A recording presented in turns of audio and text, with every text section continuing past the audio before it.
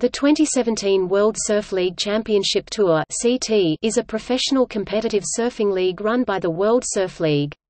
Men and women compete in separate tours with events taking place from late February to mid-December, at various surfing locations around the world. Surfers receive points for their best events.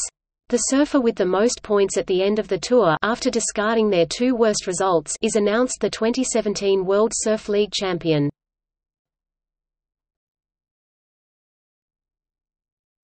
Topic: 2017 Championship Tour.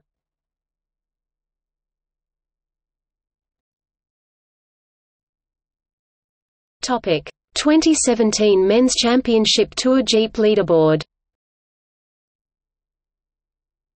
Points are awarded using the following structure. Championship Tour surfers' best 9 of 11 results are combined to equal their final point total. Two worst event results are omitted from the final point total legend. Source Topic: Women's Championship Tour Jeep Leaderboard. Points are awarded using the following structure. Championship Tour surfers' best 8 of 10 results are combined to equal their final point total. Tournament results discardedly end.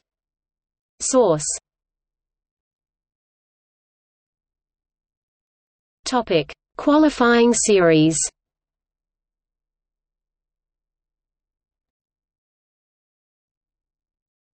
Topic: Men's qualifying series.